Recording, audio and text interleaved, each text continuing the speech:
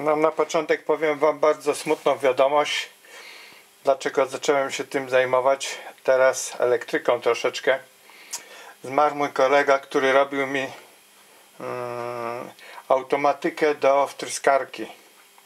No i znalazłem kogoś w zastępstwie. Prawdopodobnie cały układ będzie przerobiony na elektronicznie, ale teraz musiałem podłączyć e, regulatory do to będzie regulator do suszarki.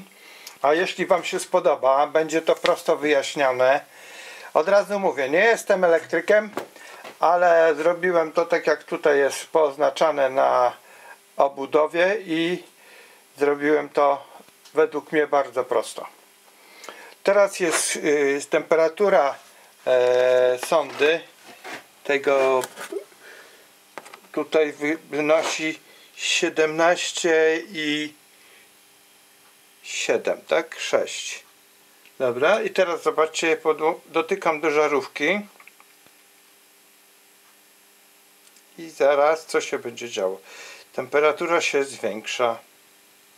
Czyli teraz mamy grzanie i zaraz, zaraz, za chwilę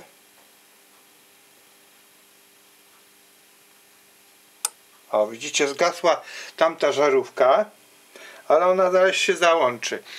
Podmucham po prostu na sondę.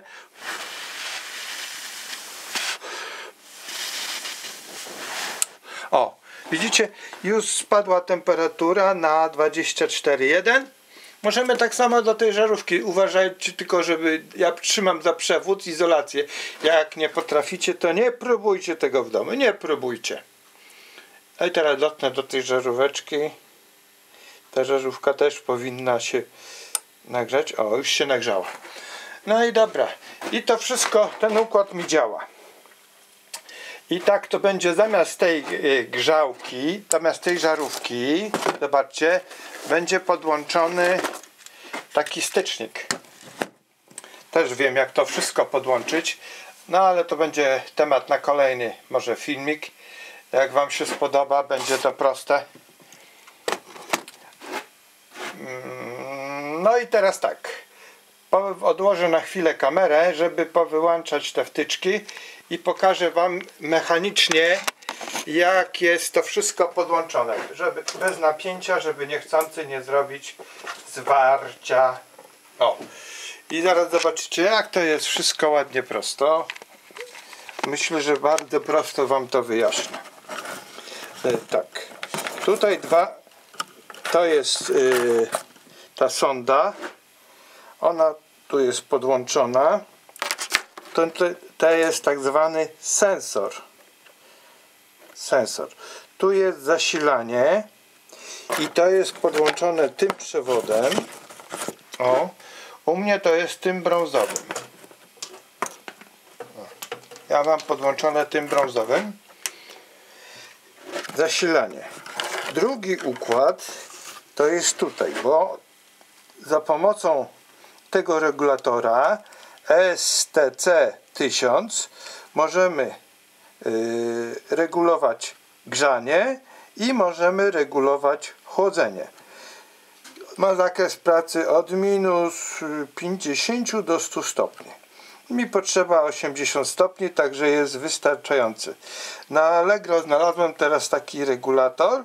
Kosztuje chyba 19 zł, także no niewielkie pieniądze nie opłaci się robić. Jak to mówią. No i teraz tak. E, odsunę ten sensor. Jeden przewód jest podłączony tutaj do lampki, tutaj jest zwinięte, o, bezpośrednio do tej, znaczy do żarówki. Drugi z żarówki jest podłączony tutaj do tej kostki. To jest wykorzystane tylko to po prostu jedno przejście żeby nie było jakoś skręcone. I ten drugi przewód od żarówki wychodzi na jak powiedzieć przewód z wtyczką. A drugi przewód od przewodu z wtyczką jest włączony do drugiego zacisku. Także są wykorzystane dwa zaciski.